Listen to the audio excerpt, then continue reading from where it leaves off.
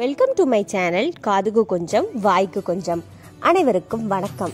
இன்னைக்கு நம்ம சேனல்ல என்ன ரெசிபி பார்க்க போகிறோன்னா பேக்கரிலே செய்கிற மாதிரி ஸ்பாஞ்ச் கேக் அப்படி இல்லைன்னா ஆப்பிள் கேக்குன்னு கூட சொல்லுவாங்க இதை.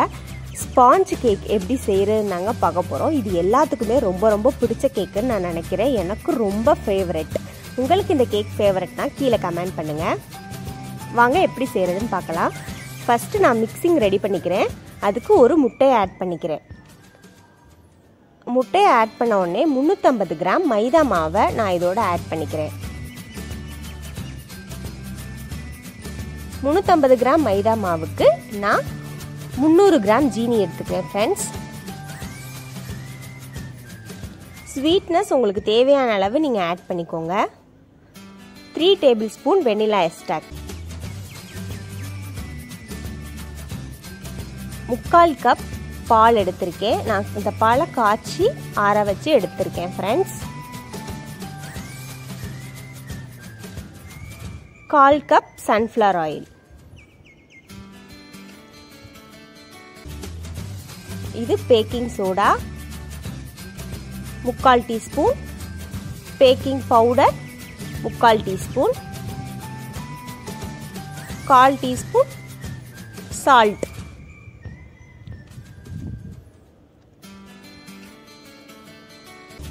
இதெல்லாம் நல்லா ஆட் பண்ணிவிட்டு நல்லா மிக்ஸ் பண்ணிடுங்க மிக்ஸ் பண்ணிகிட்டே இருங்க. ஒரு டென் மினிட்ஸ் வரையும் நீங்கள் மிக்ஸ் பண்ணிகிட்டே இருங்க. அதில் கட்டியே உழுகக்கூடாது. கட்டி உழுகாத அளவுக்கு நீங்கள் நல்லா மிக்ஸ் பண்ணுங்கள்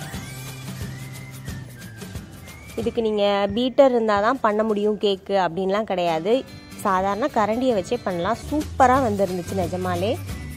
கண்டிப்பாக இந்த ரெசிபியை நீங்கள் ட்ரை பண்ணி பாருங்கள் நல்லா மிக்ஸ் பண்ணி விட்டுட்டு கேக் பேனில் பட்டர் சீட் போட்டுட்டு அது மேலே லைட்டாக ஆயில் இல்லைன்னா பட்டரை ஊற்றிக்கோங்க ஊற்றிட்டு நம்ம கேக்குக்கு ரெடி பண்ணி வச்சுருந்த மிக்சரை நான் அந்த கேக் பேனில் ஊற்றிடுறேன்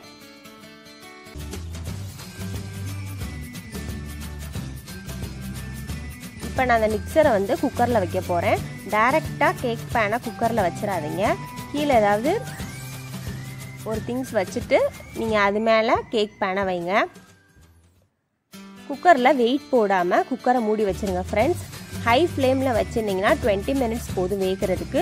சிம்மில் வச்சுருந்தீங்கன்னா ஃபார்ட்டி மினிட்ஸ் ஆகும் ஃப்ரெண்ட்ஸ் ஏதாவது வெந்ததுக்கப்புறம் ஒரு ஸ்டிக்கு இல்லைனா கத்தி விட்டு பாருங்கள் ஒட்டாமல் வந்துருச்சுன்னா கேக் வெந்துருச்சுன்னு அர்த்தம். பார்த்து கவனமாக வெளியில் எடுங்க. ஏன்னா ரொம்ப சூடாக இருக்கும். ஆறுனதுக்கப்புறம் ஒரு பிளேட்டில் வந்து நம்ம அந்த கேக்கை வந்து மாற்றிக்கிடலாம் வீட்டில் கேக் பண்ணும்போது குழந்தைங்களும் ரொம்ப இன்ட்ரெஸ்டாக ஆர்வமாக இருப்பாங்க. நல்லாவும் சாப்பிடுவாங்க. பட்டர் சீட்டை எடுத்ததுக்கப்புறம் கேக்கை நீங்கள் திருப்பி போட்டு கட் பண்ணிக்கலாம் ஃப்ரெண்ட்ஸ் உண்மையிலே நம்ம வீட்டில் ஒரு ஸ்நாக்ஸ் பண்ணும்போது அது குழந்தைகளுக்கும் ரொம்ப ஆர்வத்தை தூண்டும். அவங்களும் ரெடி ஆயிடுச்சா ரெடி ஆயிடுச்சான்னு கேட்டுகிட்டே இருப்பாங்க நம்மக்கிட்ட அவ்வளோதான் சூப்பரான ஸ்பாஞ்ச் கேக் நம்ம வீட்டிலேயே ரெடி ஆயிடுச்சு. ரொம்பவே சாஃப்டாக இருந்துச்சு ஃப்ரெண்ட்ஸ் நீங்கள் இந்த வீடியோவில் பார்த்தாலே தெரியும். எவ்வளோ சாஃப்டாக இருக்குன்னு. ரொம்பவே டேஸ்ட்டாக இருந்துச்சு. யாருமே நம்பலை எங்கள் வீட்டில் கடையில் தான் நீங்கள் வாங்கிட்டு வந்தேன்னு சொன்னாங்க. நானே இந்த கேக்கை இப்போ தான் ஃபஸ்ட் டைம் ட்ரை பண்ணேன். ரொம்ப சூப்பராக வந்துருந்துச்சு. கண்டிப்பாக இந்த ரெசிப்பியை நீங்கள் ட்ரை பண்ணி பாருங்கள் ஃப்ரெண்ட்ஸ் இந்த ரெசிபி உங்களுக்கு பிடிச்சிருக்குன்னு நினைக்கிறேன். இந்த வீடியோ உங்களுக்கு பிடிச்சிருந்தா லைக் பண்ணுங்கள் ஷேர் பண்ணுங்கள் கமெண்ட் பண்ணுங்கள் மறக்காமல் எங்கள் சேனலுக்கு சப்ஸ்கிரைப் பண்ணுங்கள் நன்றி வணக்கம்.